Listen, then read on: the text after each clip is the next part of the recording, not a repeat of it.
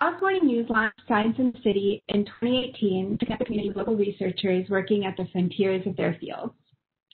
This series is a partnership between the Dallas Morning News, the Center for Brain Health, Southern Methodist University, UT Southwestern Medical Center, the Perot Museum of Nature and Science, and TalkSTEM. Ordinarily, we'd all be together in person, and I'm so sorry we can't do that this year. But I'm grateful to all our partners for finding innovative ways to bring us all together despite the pandemic. We have two more virtual Science in the City events that I wanted to tell you about. On Thursday, I'll be hosting a discussion with two medical experts about the state of the COVID-19 pandemic in North Texas. And next Saturday, we'll have the chance to meet two SMU physicists who study black holes, dark matter, and other exotic phenomena in the universe. You can register at scienceinthecity.dallasnews.com. I'd like to thank Koshi Dhingra and TalkSTEM and all of her wonderful panelists for hosting us today and for sharing their work with us. If you enjoyed this series, please consider supporting the Dallas Morning News with a subscription at join.dallasnews.com You'll have access to our award-winning science coverage, and you'll be the first to hear about events like these. Thank you.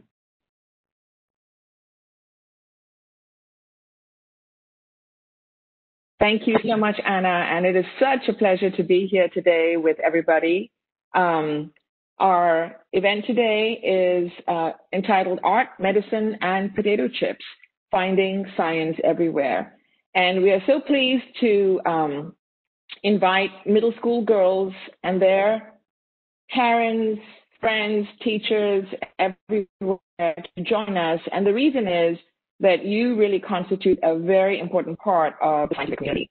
I'd love to ask you um, to think about what what does science mean to you? And please do feel free to use the chat function as we go along.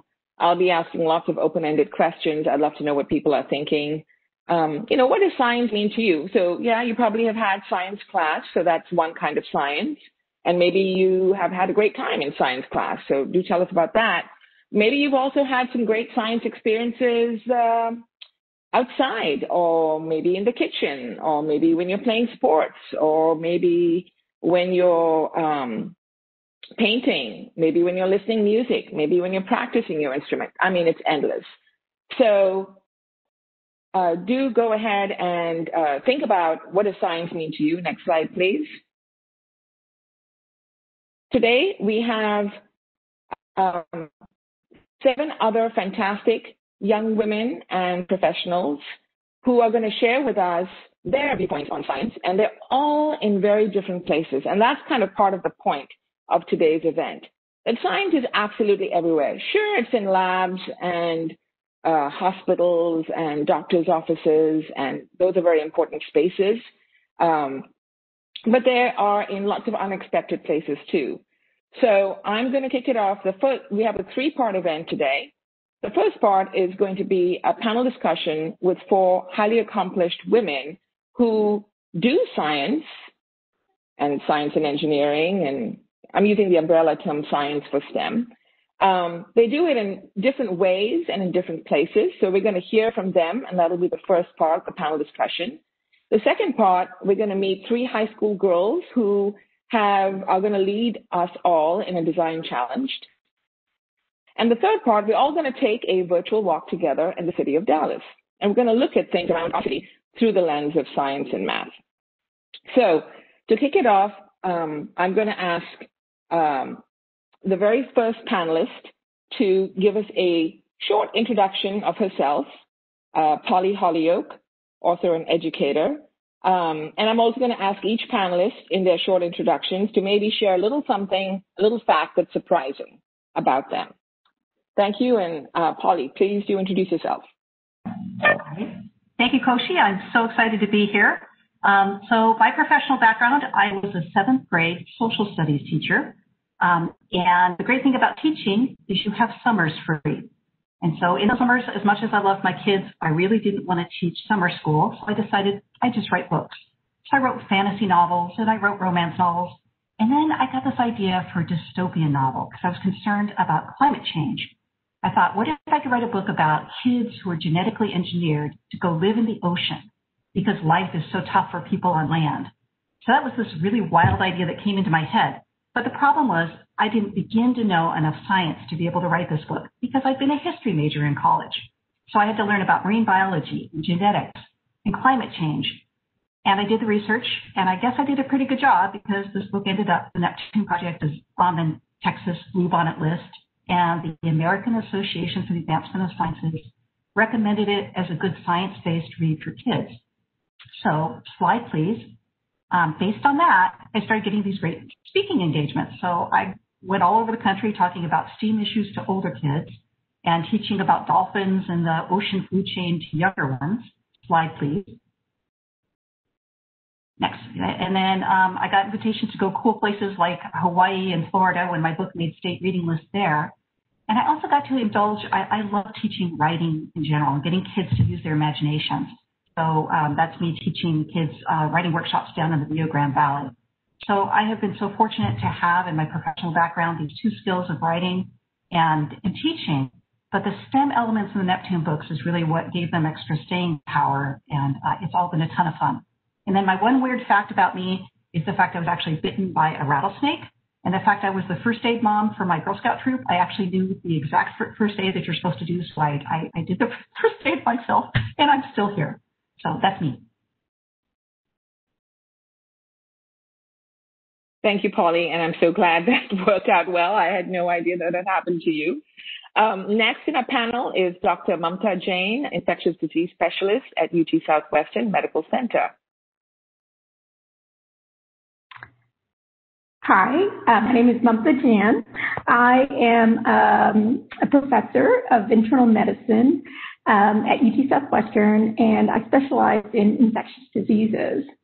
So the reason that I enjoy what I do in academic medicine is just because of the variety of what I can uh, do. I run, uh, going to show the next slide, I run clinical trials and various therapeutics. Uh, most recently, I've been running clinical trials in COVID-19, uh, but I've done trials in hepatitis B and C and influenza and HIV.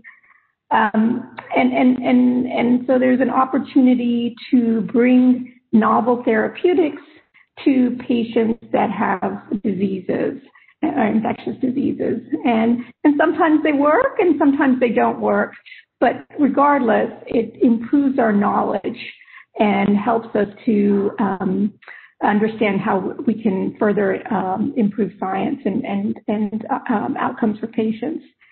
Um, but but that's not all that I do. Um, I also um, do uh, write grants and implement programs. Um, so the next slide. Um, so before COVID, I, I, I, spent a lot of my time in in the, the world of hepatitis C. Um, and uh, the, uh, we have a grant with CPRIT to kind of increase uh, testing for hepatitis C uh, in the state of Texas. And we are doing that in federally qualified health centers in South Texas, and also through a mobile um, unit uh, that goes through rural Texas to provide uh, point uh, Hep C testing. So this is actually in Tarrant County where we did a health fair, and we provide free testing because hepatitis C is a disease now that we can cure, but we can't cure people if they don't know they have it. So you have to first test them and and then um, and then link them to tr- treatment. And then this other uh, pictures of me um, and uh, uh, two of our residents and our, farm- our pharmacy uh, pharmacists who helped um, pull data together on the first like 500 patients that we treated in our viral hepatitis clinic um, with the new curative hepatitis C treatments. And so that's one of the fun parts of of being in my field is that I get to work with um, residents and and um, and um, you know develop new knowledge. Um, and then finally, uh, the next slide. Um, I also take care of patients um, in the hospital and uh, in the clinic, um, providing care for various infectious diseases.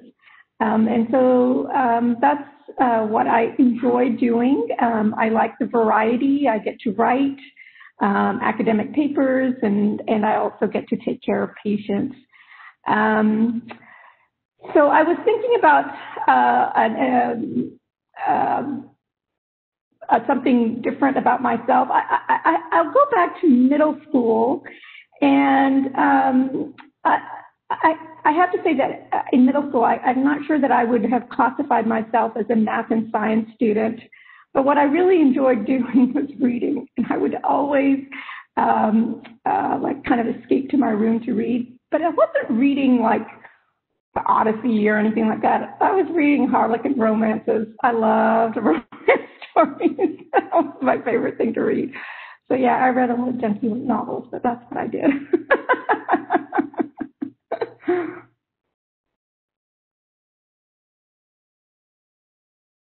Thank you, Mamta. Um, so there you go. You know, a leading researcher in COVID-19, but you know, Harlequin romances, that's somewhat uh, almost universal. Uh, I know I read my share. Um, next, um, we have Lynn McBee, um, who is a scientist, CEO of Young Women's Preparatory Network, as well as the chair of board for EarthX, and these are just some of the various um, positions that she holds. Thank you for being here, Lynn. Thank you, Koshi. I'm so excited to be here with everyone this morning. I am a scientist. I um, had a degree in biochemistry and was a biochemist for many years, but currently I am the CEO of Young Women's Preparatory Network. We're a network of 10 public all girls schools across the state of Texas. We're based here in Dallas. Our girls are from underserved populations, most being the first generation to go to college, and some being the first generation to graduate from high school.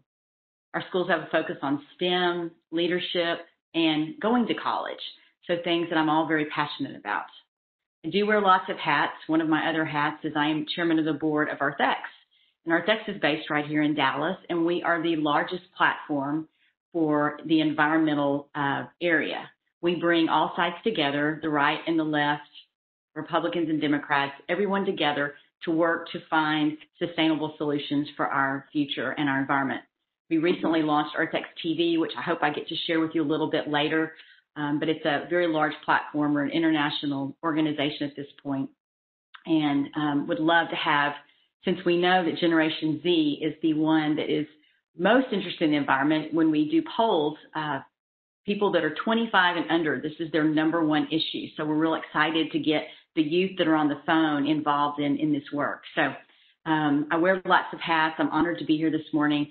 And I guess um, a strange, maybe just, oh, and I haven't told you to move the slide. So this is me with some of the girls around the state. As I said, we have 10 different schools. The girls in the left are up from our Talkington School in Lubbock. And of course, our school here, some of you might know of it. It's Irma Rangel. It's over uh, near Fair Park, and it's um, on U.S. News World Report Best of. And since we've been founded, 100% of our girls have graduated from high school, and 100% have been accepted to college and we have an amazing amount of scholarship dollars that goes with these really incredible young women. So I don't know, Koshi, if there's another slide, but if there is, you can, yep, and there's just more. That was um, an event we took. Uh, we had the girls at all the different schools write essays uh, on what leadership meant to them. And then when Michelle Obama was in town, she actually did a one-on-one with the girls that were selected, and these were some of the girls that were selected, and they had a one-on-one that day with her. So really giving these girls from different backgrounds, not privileged backgrounds, the opportunity to uh, learn to really reach their fullest potential. So it's just it's been really awesome work. Um, I think that's probably it on the slides. And my one, I don't know if it's a strange fact, it's something I enjoy, which probably will catch most people by surprise. I enjoy deep sea fishing, so I go out and deep sea fish. so there you go. Thank you, Lynn. Um, and again, I'm learning new things about uh, all, all four panelists through this uh, discussion. That's so great. I had no idea you did that. Um, thanks so much. Um, next, uh, the fourth panelist, uh, last but definitely not the least, Dr. Dipali Palta, is um, a STEMinist. I love that um, noun and also head of West Europe Research and Development for PepsiCo. Thanks for being here, Dipali. Thank you. Uh, if you go to the next slide. So I'm Dipali, and I'm actually going to start with my weird fact first. So my name is Dipali because I was actually born on Diwali, which is the um, one of the biggest festivals we have in India. So while everybody in my family is named with an S, um, automatically, just in the hospital itself, my name just became Dipali. Um, and weirdly, when I actually came to US from India, uh, I am born on Halloween. So I get to celebrate two birthdays uh, and uh, festivals, if you will. So, um, as Koshi said, Dipali, um, I am a wife, I am a dog mom, I am a daughter, I'm a sister, I'm a scientist, and I'm a STEMinist. STEMinist, if you didn't know, STEMinist is someone who advocates for attracting both men and women in the areas of STEM, especially girls. So I'm very proud um, to to do my part to now be a mentor for getting more people in science and technology because I got to tell you, in middle school, I hated math. Uh, hopefully, we'll get to talk about that more. Um, but in my job side, I have been with PepsiCo. You may also know uh, it as Frito Lay. People actually know more our brands than they know the actual company. So Lay's, Gatorade, Tropicana juice, that's all part of the company I work for. And I have a really cool job because I get to make chips. Um, in addition to making chips, we also get to work on how to help with climate change by thinking about biodegradable and compostable packaging. And if you thought that's all what a scientist or engineer does, well, PepsiCo actually ended up sending me to Africa too to work on clean water. So as a scientist, your possibilities are endless. So if you go to the next slide, I will just leave you with this on my introduction to say, where you see a potato chip, I see a science and curiosity treasure chest. Because it's not just a crispy little thing. To get that crispiness, there's quite a lot of science and math involved. So if you're ever curious about how potato chips are so STEMmy, just hit me up on LinkedIn and we'll have a chat. Thank you. Thank you so much. Uh, yes, I know since I've met Polly, I don't look at potato chips the same way ever. it's just uh, part of the wonderful, um, you know, way that she looks at things. Um, and I have to say that thinking about a PhD in engineering, you know, being responsible or at least partially responsible for creating the delicious snacks that we all enjoy, just you know, made me look at things a little differently. And that's what I hope that this event will do for everybody.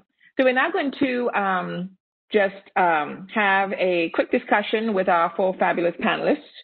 Um, let me ask, uh, let me, my first question for you, Dipali. Think back to your middle school years. What did you love to do when you weren't at school? You mentioned you didn't love math. Um, what was your relationship with math and science like back then, whether it's in the classroom or out of the classroom? What comes to mind? Just, you know, very quickly. Sure. I think middle school years for me were the years when I don't know. It just felt like I just turned into a rebel. It was, I was asking a lot of whys and a lot of why nots. It didn't stop at home. It didn't stop at school. It just carried with me. Some of them were really good questions like, why is the sky blue? Or what happens when you turn a light switch on? Why does the light bulb suddenly shine? But then there were things that my parents really, really got annoyed with, like, why should I do this? So I think because I said so, stop stopped holding its gravity in middle school for me. it, everything needed to have a reason. Um, as far as my relationship with math and science went, I loved science. I loved looking at plants. I loved looking at animals. I loved looking at uh, just chemistry and physics and all these things. Math, I hated. I scored lowest in math. I mean, I scored better in my languages than I did in um, math. And back in India, scoring good in languages was pretty hard. Um, and as you can tell, I just said scoring good instead of store, scoring well. So my language is not good. So you could tell, yeah, you can tell like how bad I was really in math. Um, I think it took a, I think it took 11th grade for me to really like math because of my teachers. But really in middle school, it was the beginning of the question why, which may have come across as annoying, but really was the seedling for my curiosity leading me into who I am today. Thank you, Dipali. Um, Mamta, um, quick question for you. and by the way, I mean, this is a relatively informal discussion. Please, uh, panelists, you know, uh, do jump in if you would like to add on. Um, but Mamta, question for you. Why do you think, uh, this is something that came up in a conversation that we had recently, and I know you mentioned something about this. I was curious to have you share a little bit more. Why do you think, Mamta, that girls are so well suited to do science and to succeed in the sciences or in STEM or STEAM? Well, you know, I think I think girls and, and women um, are are uh, people that can work in teams, and I think um, today's science is not about individualism, but it's about teamwork.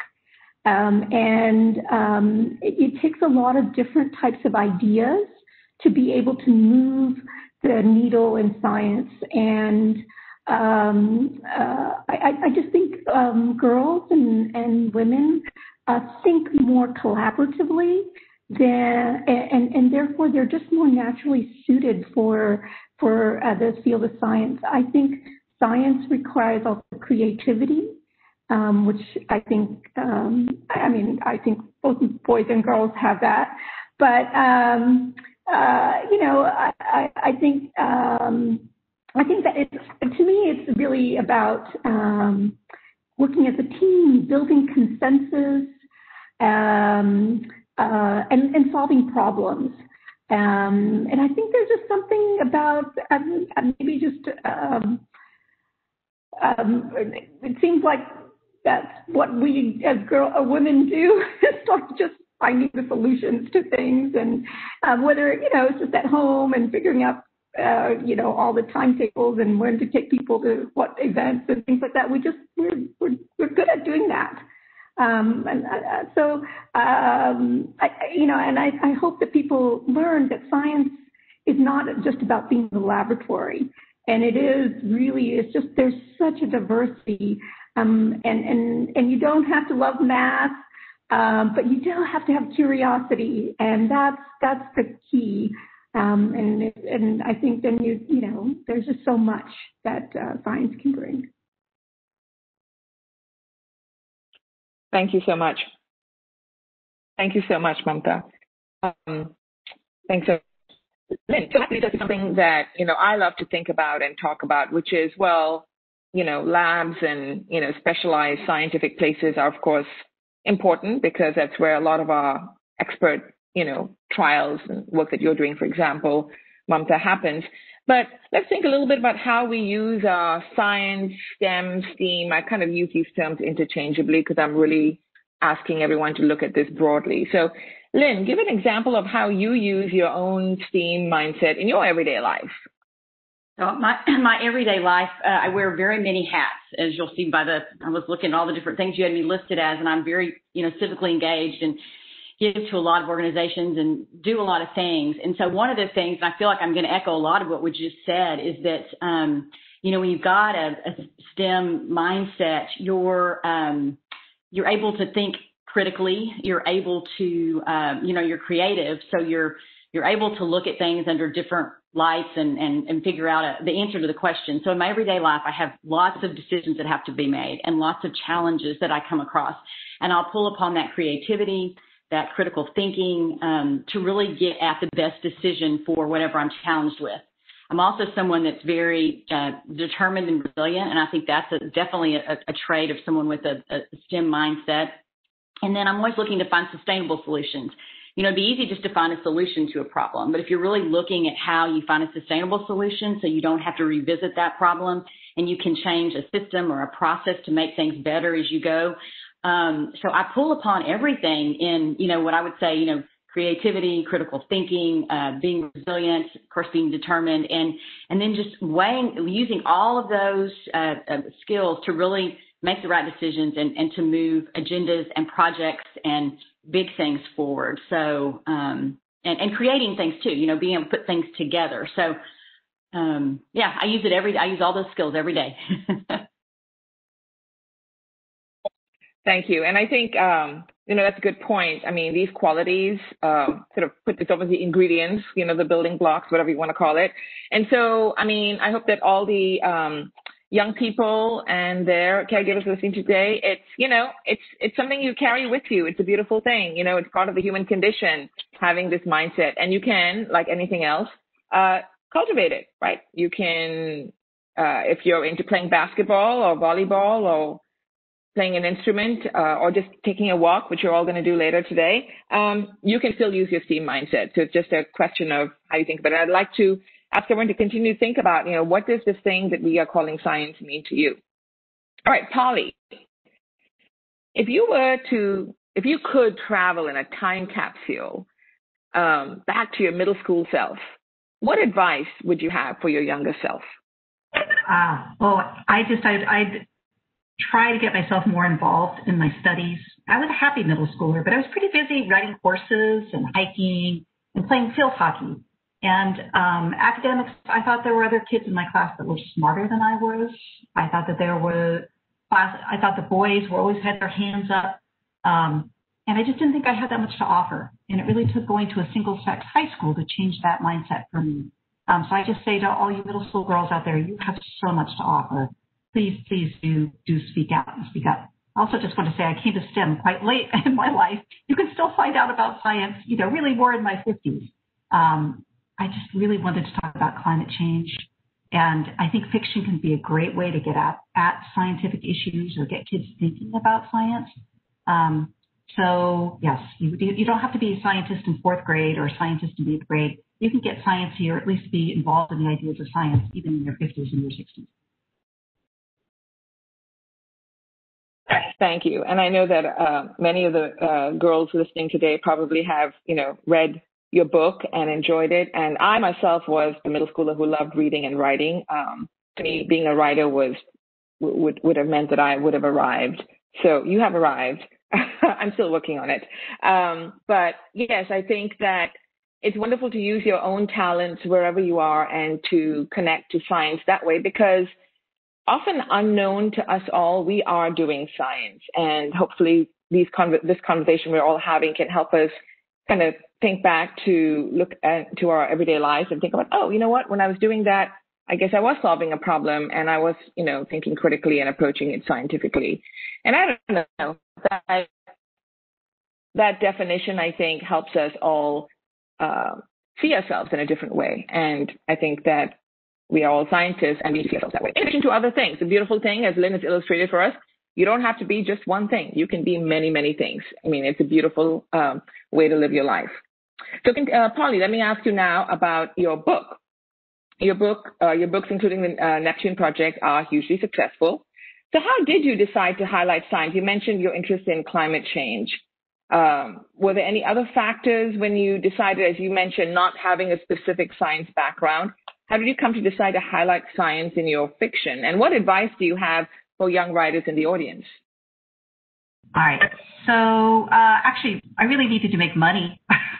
that was also a, I think that's a fair reason to embark on things on, on projects. But um, no, I just was so frustrated having cared a lot about the environment my whole life, and then realizing my own children were not losing, learning about climate change. They weren't getting taught it in school. Um, kids didn't seem to be kind of dialogue about it. Like, how can I change that? How individually can you make a difference? And so once I came up with the concept for the book, I just went all in on it. And I'm really glad I did because now people download my teacher guides, you know, and I go to schools and they think they're getting an author and they do get an author, but I have four or five slides in my PowerPoint about the greenhouse effect um, because it's still not really, climate change is not being discussed in our country. It's not being discussed in the schools. It's not getting the attention I would like to see it have. And so, yeah, I just, I dialed that up in the books and I'm really glad I did. And in fact, the new project I'm working on is a climate disaster book for high schoolers. Um, I want to give teachers in high school a platform to discuss these issues. So fiction can be a way. Look at your gifts. Look at what you can do. If there's something you care about, maybe you can change the world in some little small way. I've got a lot of kids talking about marine biology and um, the oceans and about climate change. And again, it was through fiction, which is maybe not the way you mostly think about going at something, but it, it worked for me it's been really rewarding. Oh, and then my advice to writers. I'm sorry, two parts. Keep this one quick. You need to read, read, read. Um, every time you read a book, you're expanding your vocabulary, and words are the building blocks of our stories. So your big job in seventh, eighth, ninth grade is to read if you want to become a writer. You also want to keep a journal. Keep on writing because you get better at stuff when you practice. And then um, my final thing is I always say unplug. And I know even in COVID, I know that your phone and your computer are your, your connection to your friends. But I hope every day you at least unplug for half an hour and let your minds drift.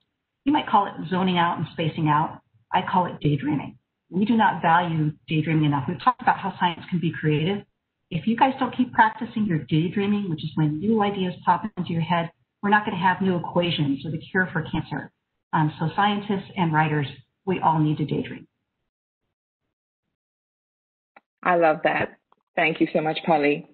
Um, Mamta, you're on the front line battling COVID. Um, it's on all of our minds, obviously.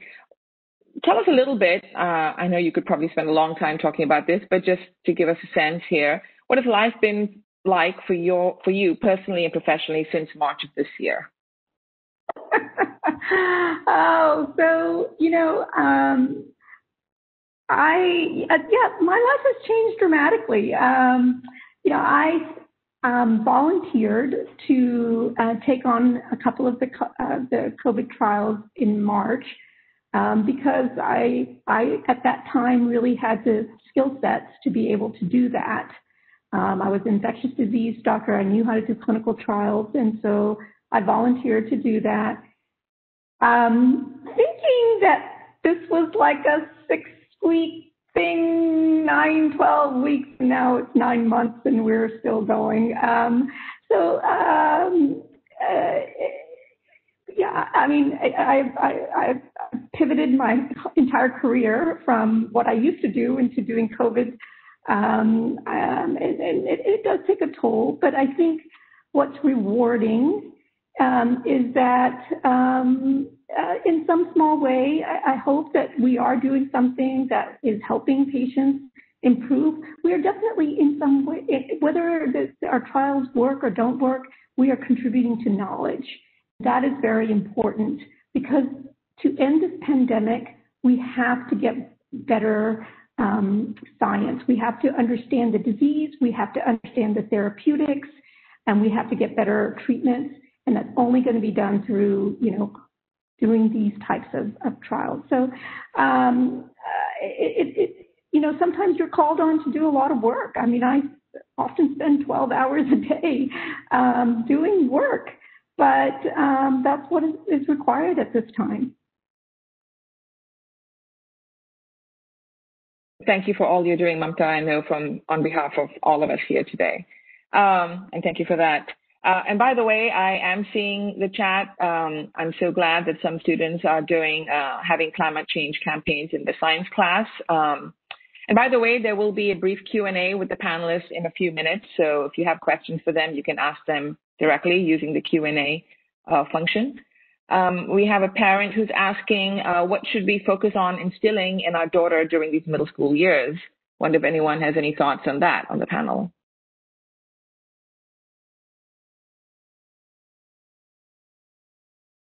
I think um, just being curious, reading and, and being curious about what you're um, what you're hearing, and really wanting to understand um, not just what's being said, but what's the, the basis for that. I think that critical thinking is what we should really try to be developing. Um, what are the facts, and and and learning to be able to make a, a opinion based on facts. Wonderful. And I think that, um, again, you know, every, every child is different, but so much of it is, um, unfortunately, there's this sort of single story for a lot of uh, students and their parents and teachers, meaning the story of science is relegated to the story that's told to them in the classroom. And that may work for some people, but not everybody. So I think as a parent, what you can also do is open it up. Like every story, there's multiple stories. So maybe the curriculum that year is all about rocks, and maybe your daughter is not that into rocks. That mean that it ends there? Um, no, of course not. You know, the beautiful thing about science you don't have to be an expert, Mamta said, and as we all are saying. Ask questions and try and find out some answers and, um, you know, and kind of convey that, you know, there's a lot you can actually address and answer without a ton of specialized equipment, just through some basic research, some looking around. We're going to kind of model that a little bit when we go on a walk together as well where we kind of ask and answer questions with nothing but our minds and our um, our eyes. Um, Lynn, question for you. Your early career started as a biotech researcher. you now lead a growing network of public girls' schools.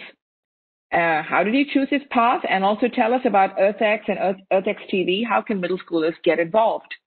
Sure, I'd love to. One thing I wanted to tag on before I answer the question is I think the biggest thing when I think back to my own upbringing, and I think like most of the panelists, we were from a generation where girls didn't do math and science as much. And as a parent to really encourage that. I was lucky to have a dad that was a mathematician and encouraged it when my sisters played with baby dolls and I was out collecting bugs and building ramps and things.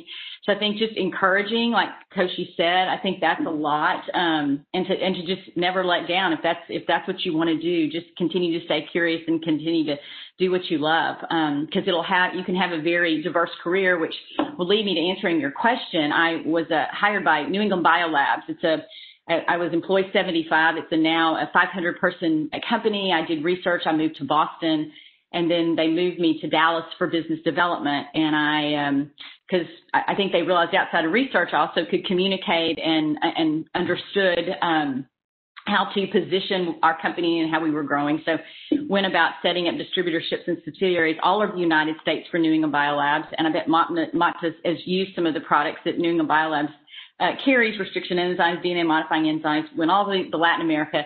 And anyway, did that for about 25 years.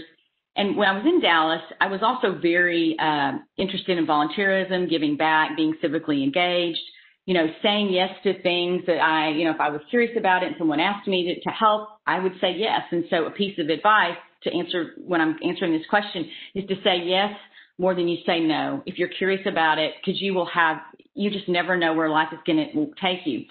So I got to know one of the senators that was the champion for the legislation that led to it being legal for there to be single gender public education through some of my volunteer and civic work. And when this position with Young Women's Prep Network came up about eight years ago, she called me and she'd worked with me and she'd seen me chair board meetings and chair campaigns and projects. And she said, you know, I know that you're doing this professionally, but you've got all the skills to run this. And so I um, put my CV in and I was hired. And I went about using my STEM brain to grow the network. The network is now 10 very strong public all girls schools, 5,000 girls in our network.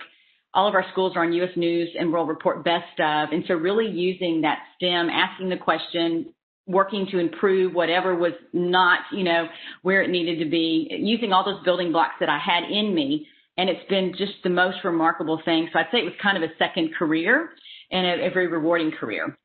I also um, am very involved in EarthX, so I'm going to address some of the climate change things that I'm seeing right now. In EarthX, we launched EarthX TV recently. It's a streaming channel, and it's uh, programming uh, that brings, again, like I said, all sides together, focusing on, you know, sustainable solutions for our environment. One of the programs that we have is called Climate 911 Youth Reports.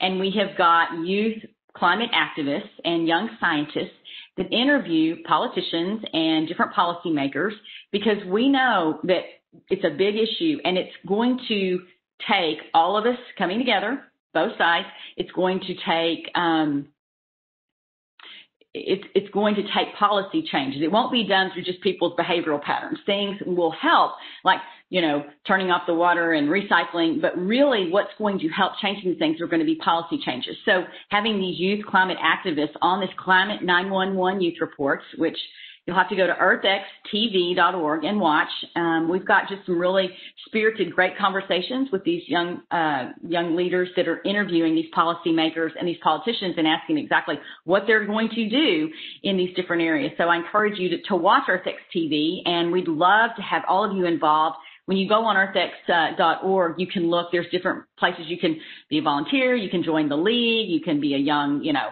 young young advocate. So we've got lots of things if you if you go to the website there. But we would love to have all of y'all engaged in the conversation around science, sustainability, environmentalism, and climate change. So, thank you. Thank you, Lynn. I uh, I love the fact that EarthX TV allows young people to actually actively participate I'm a big believer. I mean, in the, the, the beautiful thing about the world we're living in is, um, for young people, unlike when I was in middle school, you can actually directly, you know, be an author and you have authoring tools thanks to technology. Uh, on TalkSTEM, similarly, we really love to have young people share their STEM mindsets by sharing their photos, sharing their videos, etc. So there's a lot you can do as opposed to, you know, oh, I don't know, 35, 40 years ago. I'm dating myself when I was in middle school, where really there was, you know, definitely much less open that I can do. All right, Dipali, um, you never expected to work in a food and drink company as an engineer. Um, tell us how you came to choose this very interesting path.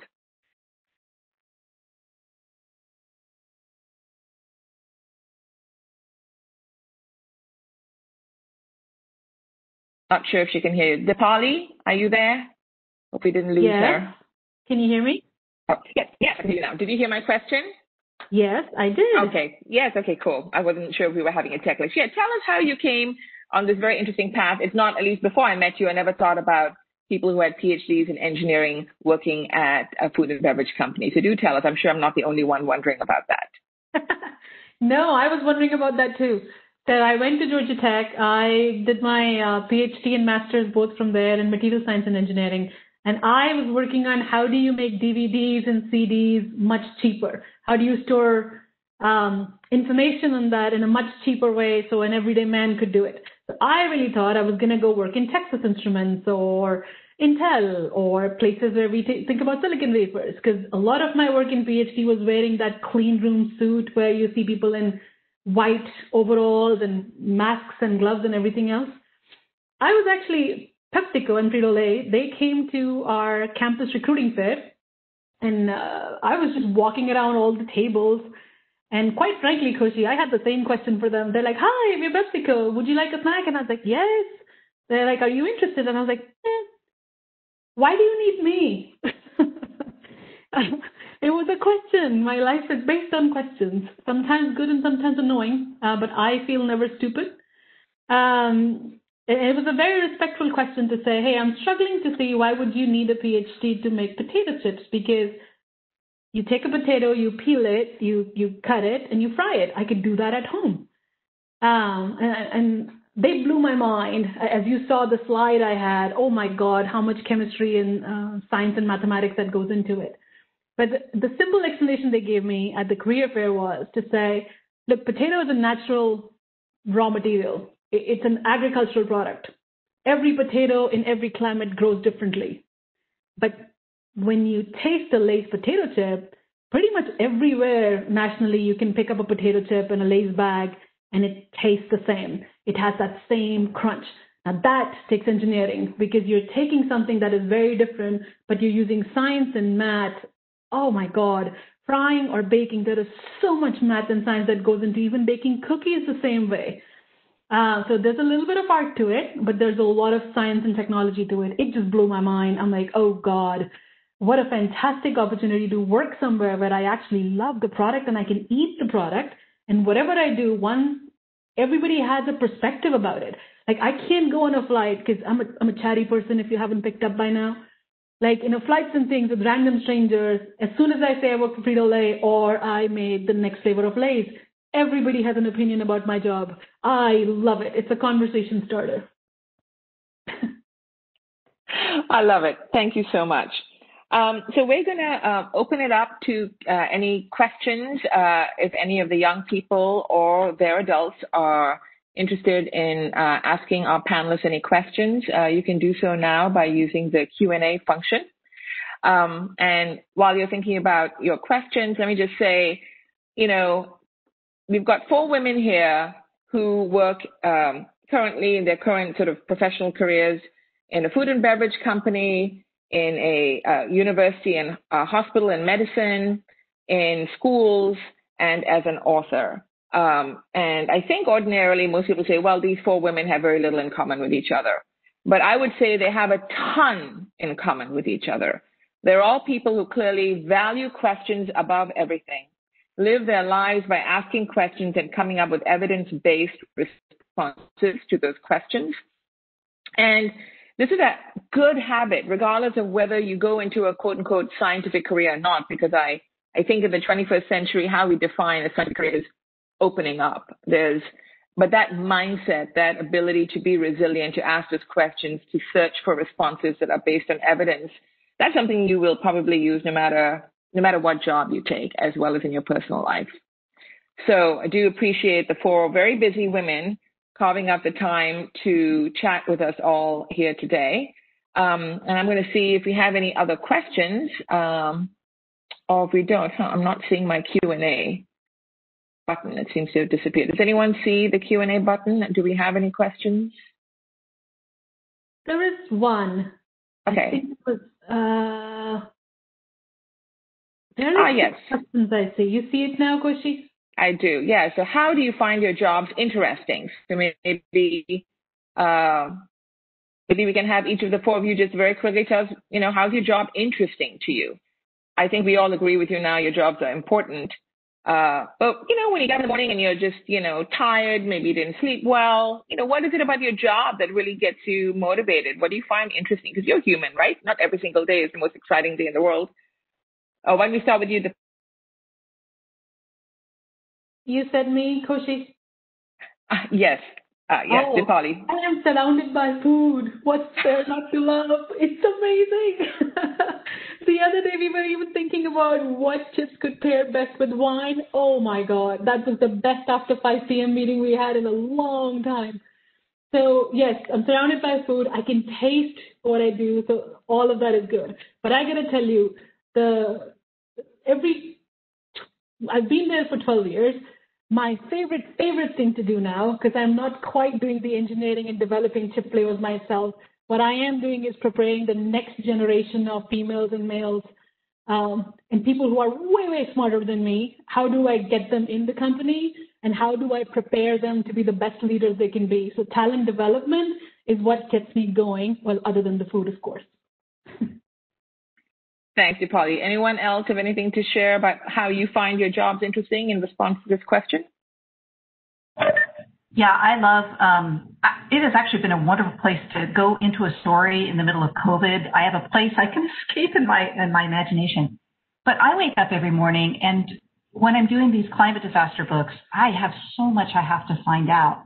So this one that I'm doing is a near future climate disaster book in rural Kansas and Nebraska. I have just been finding out so much about pivot irrigation. You know, those big circles you see when you fly across the United States, those are from pivot irrigation. And I didn't realize that they actually send pesticide out through those arms. They do all sorts of things through those arms. That just kind of blew my mind the day I studied pivot irrigation. And um, my kids are eco warriors, so I'm finding out a lot about pumping stations and natural gas. And I'm loving the research. I'm finding out all sorts of cool things about wind turbine and wind energy. The people who climb those towers, they're crazy. They usually, a lot of them are climbers because to service them, they've got to be comfortable being, you know, 300 feet above the ground. So I know every day when I go to work, I'm going to find out something new, and that's wonderful. Thank you so much um, for that. Does anyone else have anything that they'd like to add? Actually, I'll, I'll go. I uh, I wake up and I have the real privilege of of working in this organization. That when I wake up in the morning, it's always going to be diverse and challenging. You never know what's coming, so that's you know kind of exciting. But I always think about the end goal and the girls that we're serving in our network. Our girls are coming with not the resources, not the background, not the family support that uh, most of us have uh, had, and to watch and to really be part of taking these girls. Our, our schools are sixth through 12th grade and seeing them in sixth grade be shy, be insecure, come with a million different challenges. And then by the time it, they're graduating in 12th grade, they're strong, they're empowered, they're going to college, they've got full scholarships to really fantastic places across the, the United States. Um, it's, it's life changing work and it's, it's just, um, it's amazing. So I get up thinking about them and what do I have to do to keep things strong so that, that they're the best they can be and that we're supporting them in the way they need to be supported. Thank you so much. Um, I'm going to, um, uh, Mamta, oh, you have no, something no, to add? I was going to say, I think for me, yes, it's um, it's about uh, relationships, and and I, I enjoy, I love going to work. Uh, I have a great team of, of people that work with me, and um, and um, I'm building relationships not just within my you know little UT Southwestern, but it's also outside of because we're uh, collaborating with uh, teams all around the nation and the world, and, and and so I think it's building those relationships and learn you know meeting new people virtually. Um, that's that's exciting, and I think that's what keeps things um, interesting and, and for me. Thank you all so very much. Um, appreciate your time again. Uh, this wonderful panel. I hope everybody uh, enjoyed hearing from them. Um, we're now going to move on to a second segment of today's program.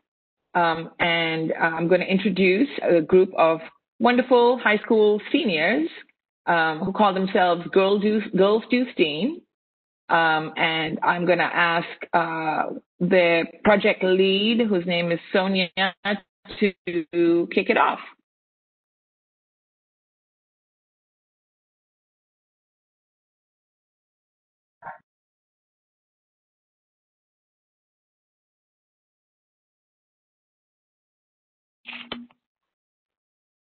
Are you there, Sonia? Not sure if they can hear, but um, let us know if you can hear this, Sonia. I think Sonia just got disconnected, so I'll just go ahead. Oh no, okay. Introduce um, introduce us. So uh, we are the Girls Do STEAM team, and we are all high school seniors at Greenhill School in Addison, Texas. And we created the Girls Do STEAM Journal for elementary and middle school girls with 50 fun science, tech, engineering, art, math, STEAM activities that involve things like music, sports, nature, you name it. So uh, today we are going to be doing an activity from the journal that um, hopefully when our founder Sonia gets reconnected, she will talk about. But um, for now, I will just do introductions. So as I mentioned, my name is Anaga Guru, and I am a senior at Greenhill with Sonia and Sarah, and the community outreach director for the Girls Do STEAM Journal. And in addition to Girls Do STEAM, I like to play the French horn, read the news, and go on long bike rides. And I'll hand it back over to Sonia to um, do her introduction. Hi guys, sorry about that. That was a little annoying. I could hear everybody, but I couldn't turn on my camera for some reason. Um, but yeah, as Annika said, we're the Girls Do STEAM team. But outside of creating the journal, I really like to um, read and cook and do photography. And yeah, so I'm really excited to be with you all today, and I'm excited to do the design challenge from the journal. Now I'll pass it on to our illustrator, Sarah. Hi, I'm Sarah, and as Annika said, I'm a senior at Greenhill with Sonia and Annika, and I'm the illustrator for the Girls Do STEAM Journal. And besides working on this journal, I like to write for the newspaper, play volleyball, and I also really like to paint. So I think now Sonia is going to talk about our activity that we're doing today. All right, uh, can we move to the next slide, please? Okay, so today we're going to do a fun design thinking challenge which basically means you're going to be doing a little bit of problem solving and building a quick prototype. So I hope you have your materials with you, which should be two sheets of paper, um, some thick books like textbooks or cookbooks to create a platform, and some paper clips or binder clips, but you can use whatever you have with you if you need to substitute. Um, so today your challenge is to build the longest bridge you can using two sheets of paper you can make your bridge between two stacks of books. Add binder clips or paper clips to your bridge until it collapses. So on the slide, we have the actual page from the journal and the prompt. So you'll have about seven to eight minutes to give this a try. And remember, it doesn't have to be perfect. And while this is going on, Sarah's going to be doing it live, and Annika and I will be asking some questions. And please feel free to use the chat and Q&A function anytime you need. So um, let's get started. Ready, set, go. Okay, so hopefully you can see me. I have my little textbook set up here to create like kind of the bridge in between. Um, they're about a foot apart and I have my two sheets of paper here and I'm going to start folding them and hopefully you guys are building along.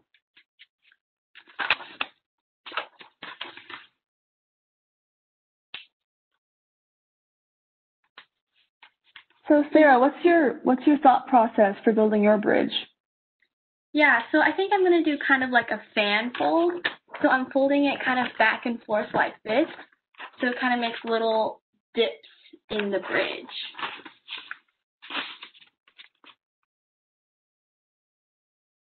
Yeah, so Sarah, I'm really noticing this fan fold here and I like it. So why are you deciding to fold it that way? Yeah, I think that the folds will like add more structure to the bridge and kind of interlock the two sheets of paper when I kind of stack them on top of each other. And as you can see, they're little rectangles like this, but then when I pull it apart, it kind of forms triangles. Hopefully you can see that. Hmm. So why are you doing triangles? Um, I just heard that triangles are kind of the most sturdy shape to create a really strong structure. So I think that using triangles in this bridge will be really effective. Wait, no way. I can't believe I didn't think about that. You know, the bridges that I see all over, like the Golden Gate Bridge, they're all based on triangles, and there's a reason why they're really strong. I can't believe I didn't think of that. You know, when I made my bridge, I just made this rectangle folded together with construction paper. But, you know, that's a really cool idea, Sarah. Thank you. And hopefully you can see this is one sheet of paper done. You can kind of see the triangle shapes. I'm going to go ahead and fold the second sheet of paper. Yeah, I agree with Annika. I didn't think of using triangles either and actually did something kind of similar where I folded two sheets of paper.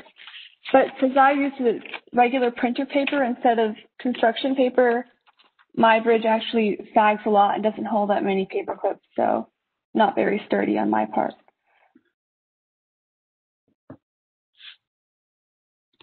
Um, the people at home doing this activity along with us, we want to hear from you. So please feel free to use the Q&A and chat function if you want to share your ideas, what you're doing, what you're thinking, or even if you're lost, please just feel free to contact us now.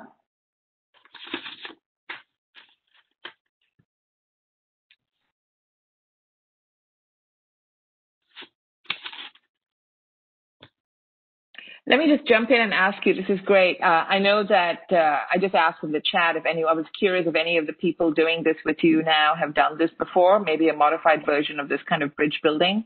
If so, let us know how it worked for you previously, and uh, you know maybe use different materials. Uh, let us know about that. Yeah, I actually have my two sheets of paper folded, and then they're gonna kind of stack on top of each other like this. Oh, I see a question in the chat. Where do you put your bridge? Okay, so I have like my two stacks of textbooks here. Hopefully you can see that they're about a foot apart.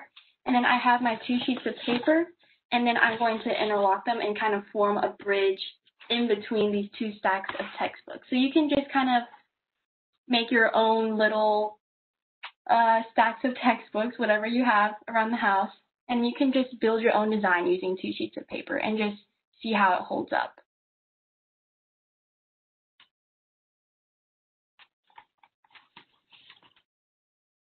Okay, so I'm going to start adding things to my bridge to see how many objects it can hold.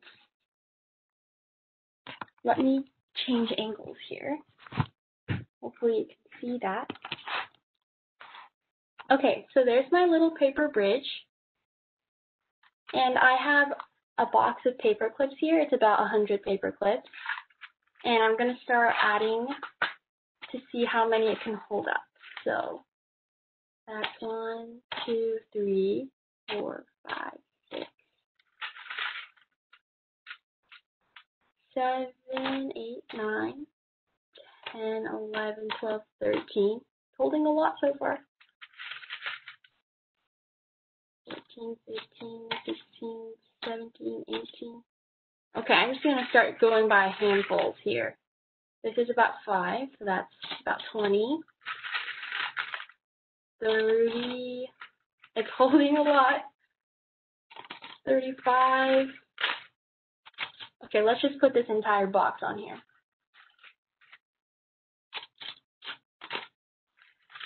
It's still holding up pretty well. And if anyone wants to try my design at home, you can see just how sturdy the structure is. It's holding up really well. Let's see. Okay, I ran out of all the paper clips. It's all empty. let's try adding like some heavier stuff. I have like erasers. Still going.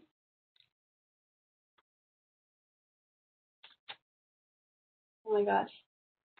That's a strong bridge, Sarah. It's very yeah. strong. Stronger than mine, that's for sure. Do you know how many yours held up, Annika? Yeah, mine only held up about 67 paper clips, so not nearly as strong as the triangles that you have. What about yours, Sonia? Mine only ended up holding around 30, so definitely yours is a lot strong, and mine's already kind of sagging in the middle, so definitely not as sturdy, but a bit longer. Um, for those of you at home, I don't know if you're done yet, but how many paper clips can yours hold up? I'm still adding. So it seems like the triangles are the winner, but yeah, definitely let us know. And by the way, if you do this later or if you try it out with different materials, uh, you can always share using social media on TalkSTEM and tell us how yours uh, went. Oh, we have somebody who's, okay, her bridge held up 41. And I put in the chat what what's your bridge design look like so we can visualize it. Um, and uh, it's amazing how with two simple sheets of paper you can do so much. I would not have guessed, Sarah, that you would have been able to hold that many, that much weight, honestly. Yeah, it's a lot. I'm adding more pencils, still holding up. It's okay. still going.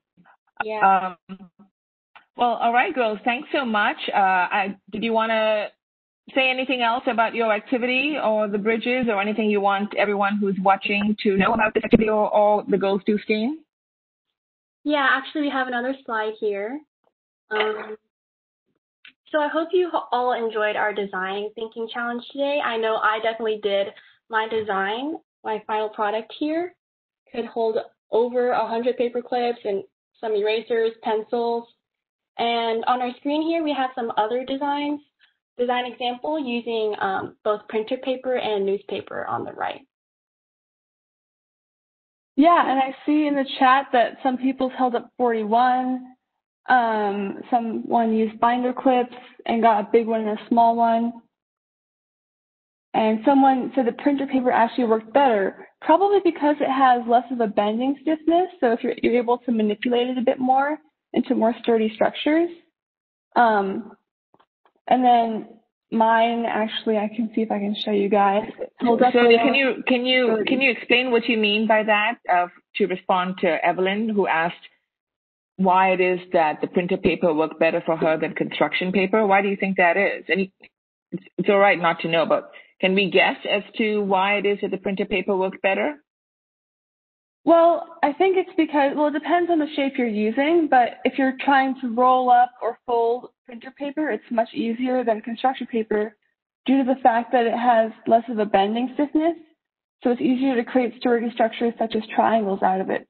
However, when Annika and I used a similar design and she used construction paper and I used printer paper, because printer paper is less sturdy, it tended to sag more. So I think it really depends. Um, and I have. So it depends on. Yeah. Sorry, but so it depends on. Well, I guess there's all kinds of construction also, and then your specific design. So it sounds like the two right. key factors are how bendable it is. Is there anything else and that people should think about? Shape and bending, bending stiffness are the two main ones we're addressing here today. Um, and then, Annika, do you have your design? Yeah, so here is my design. I folded like two pieces of like cardstock construction paper. And uh, as I mentioned earlier, I used a rectangular design. And um, like it was a longer bridge, but it wasn't as sturdy. So as you can see, Sonia, Sarah, and I all took pretty different approaches to the challenge. And even though we were using very similar materials to each other, we came out with pretty different results. And uh, now I want to hear from you. I've seen a few things in the chat that some people use like triangles, just like Sarah, and it held up pretty strong. Um, what what were other people's design processes like? So yeah, let us know in the chat or the Q and A function. Absolutely, we're going to have to move on. So um, I hope you all enjoyed it, and definitely you can um, you can reach us on, you can share your photos of your designs on Instagram uh, at Talking STEM. And I know Sonia, Sarah, and Annika would love to see Um, you can also contact them. Girl, uh, here you go, girlsdosteam.com, and they have their email. So if you want to talk to them some more about this design channel challenge, you can reach them that way. Girls, thank you so much. Uh, this was really fun, uh, and you know it's amazing how much uh, science and engineering you can do with something as simple as a few pieces of paper and paper clips. So thank you so much uh, for that. Uh, we are now going to move on to our final. We have about nine minutes left, so we're going to take a very short walk. Um, I'm probably just going to get you started, uh, and I, there's ways that you guys can continue to walk because we will be sharing the um, the content via some YouTube videos that TalkSTEM has created. Um, so next slide, here we go. So one of the things that my nonprofit TalkSTEM does is we love taking walks. So we like to talk and we like to walk. So it'll be fun to just take a little walk together um, those of you here can continue. Uh, the weather outside is beautiful. We have about 20 different walks in the city of Dallas. And if you go to our YouTube channel, you can access all of them and we will guide you to take a look at different spaces in Dallas through the lens of math and science. So here we are. Here's a fun map of the Dallas Arts District. This was actually created by an artist whom I work with in Vancouver, and she does a lot of um, uh, map creation. So we're to, where the pink arrow is, we're to take a stroll down Flora Street. Some of you may be familiar with this area in Dallas. It is one square mile of um, architectural treasures in the city of Dallas.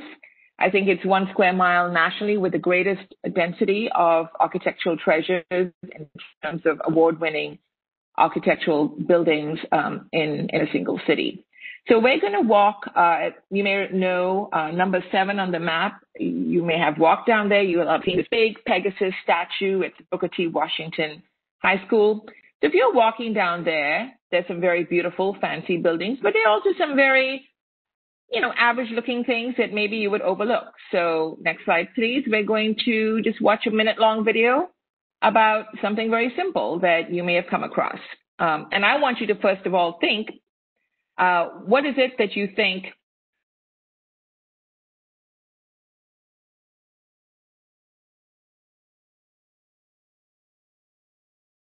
I think we're having some tech issues, uh, but since we only have about five minutes, um, maybe I can just tell you about these videos and I hope that you will watch them later since um, I've selected a few to share with you today. And we had such great conversation earlier, I just didn't want to cut that off. This is content that you can access um, freely on YouTube. Um, next slide, please. I'm just going to tell you about the walk STEM stops in the Dallas Arts District, and I hope that you will watch the videos, or even better, go take a walk on your own uh, or with your family later on. So as I said, uh, think about a traffic bollard. Well, I mean, part of my goal today is to have you guys look at anything and everything and ask yourself, where's the science? Where's the math? In this next video, also, if you continue walking down um, Flora Street, um, you'll see this beautiful um, uh, church. Um, and there's a lot of circles uh, in it. The gentleman, by the way, in these videos is somebody that I collaborate with. He's the founder of the only mathematics museum in the United States. Uh, I don't know if anyone here has been there, but it's called MoMath, and it's sometimes called the National Museum of Mathematics. This is Dr. Glenn Whitney. And he and I co-developed this method of taking a walk and stopping along the way, uh, figuring out a question we wanted to ask and seeing if we could answer that question about just anything in the real world. So that's really what all of our walking tours are about, kind of a math, science, STEM, STEAM um, kind of look at everyday spaces. Uh, it's a lot of fun and it's something that you can also create on your own. So in this, we um, look at there's a lot of circles in here. Why, you know, why are there so many circles in this particular architectural design? Next slide, please. Well, uh, where we're taking a walk is very sort of urban, lots of buildings, but, you know, I am a biologist by background, so of course I had to find something green to look at.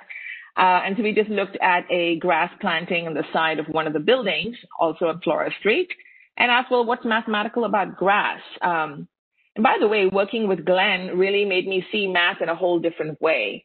Um, you know, I uh, liked Dipali in middle school and actually in high school. It continued for a while. Math was my least favorite subject and was also the area that I did horribly in, in terms of test scores. Uh, really, it's now working with Glenn that I see that math is way bigger than I thought math was back where I defined it as a very narrow thing that I did in class. Um, and now it's a lot more fun for me. Uh, maybe I don't do super well in math tests, but I certainly do think mathematically about a lot of things in my life. Next slide, please.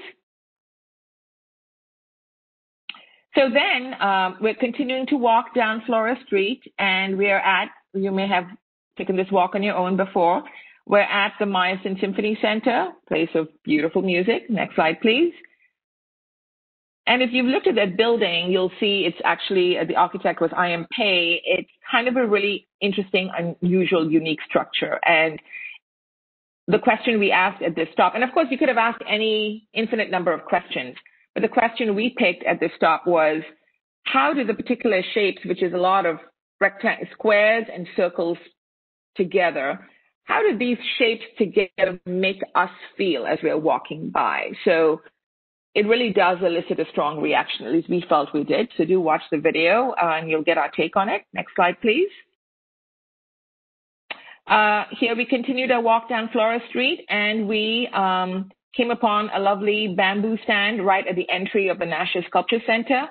Um, and again, we, I think the only instruments we had was some string and uh, ruler, and we asked a question about the bamboo. We were wondering if there was a relationship between circumference and the distance between uh, the, the, distance or the length of each segment of the bamboo. Um, so something you may have learned about in class about, you know, linear relationships and other kinds of mathematical relationships. We were wondering about, is there a relationship between circumference and length of segment? So again, do watch that. It's, I think it's about a one and a half minute video. Next slide, please. And then we ended up at the end of our little stroll here at the DMA, the Dallas Museum of Art. Um, next slide, please. And over there, if you've been there, there's this lovely um, mosaic, very large one called Genesis outside of the front doors. And we look at color. I mean, I love a lot of art that's very colorful and we ask ourselves about, well, what's mathematical about color, and uh, and how did this artist, uh, who didn't actually use paint but he used mosaic pieces, how was he able to create this feeling of, in certain parts of the mural, you have the feeling of high contrast, and in other parts you have kind of fading or lower contrast. Given that he wasn't using paint, how was he able to do that? And again, to answer that question, you'll need to watch the video. And then I hope you will go and come up with your own questions. So that's it for our um, presentation today. Again, um, you can finish the tour on a YouTube channel. Uh, just click on the video category, Walk STEM Academy, click on Dallas Arts District, and you'll see those plus uh, a good number more.